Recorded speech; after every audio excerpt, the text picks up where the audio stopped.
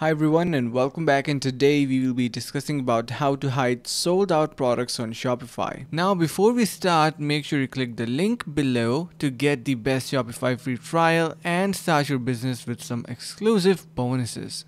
Alright so currently as you can see I'm on Shopify admins panel and from here you need to head over to your products. Once you are there you can see we have various products being shown up and they are currently in stock. So let's just say for some reason the stock ran out you can head over to your actions. You have various options in there like for example if you want to maybe remove or duplicate this particular product you can do that. So you can choose to set it to draft and apparently it is going to be hideout so below you can see we have currently stock values now added in here.